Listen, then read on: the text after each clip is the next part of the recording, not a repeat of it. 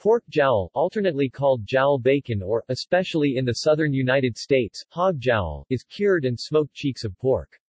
Hog jowl is a staple of soul food, but is also used outside the United States. The non-smoked Italian variant is called guanciale. Uses Jowl bacon can be fried and eaten as a main course, similar to streaky bacon, such as in a traditional full English breakfast.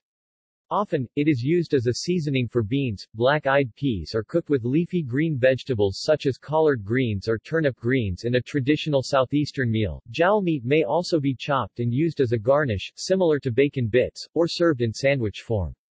Pork jowl can be used as a binding ingredient in pork liver sausages such as liverwurst and Braunschweiger. A southern U.S. tradition of eating black-eyed peas and greens with either pork jowls or fatback on New Year. S day to ensure prosperity throughout the new year goes back hundreds of years.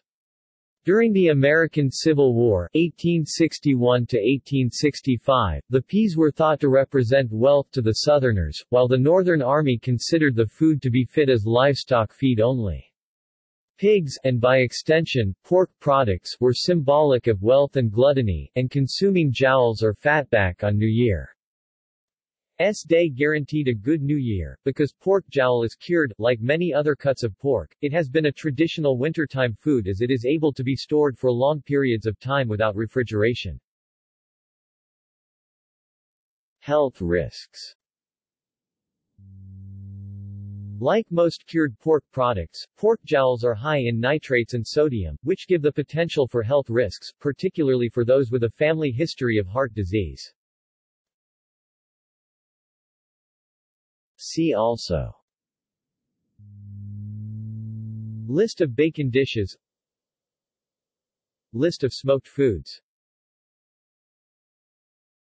References